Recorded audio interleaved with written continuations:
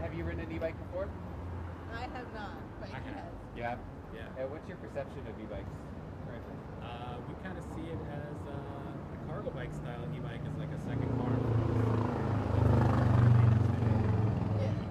We don't want a second car, and we also we don't even want to drive the car that we have as much as we to drive. We got two kids, and they're at the same school but in different locations, and so yeah, we're hoping some of our friends have them, and it's sort of life changing. I don't I don't know if it will be for us, but maybe it will be.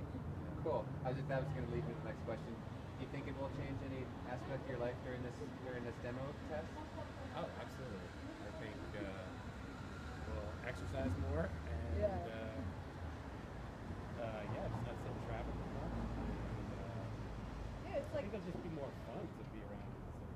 Yeah, it's hard getting the kids in and out of the car seats, Totally. right? It's sort of a hassle, but I'm not positive. Like it sort of depends if it's gonna make it up all the hills and everything. We'll see. We'll see. And the last question: How many miles do you think you'll ride Uh, I'd say probably total?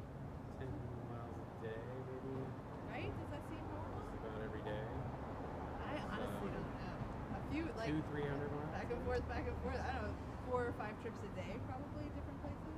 Cool. I don't know. I'll but- go with 200 in a I don't month. Because it's not quite a month. Sorry, are we? We're cutting it off. Well, anyway, we'll see.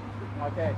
So I'll see you guys in the end of your demo. Okay. Cool. Have fun. Thanks. Okay, thanks. Yeah. I can't believe it. You take a cup.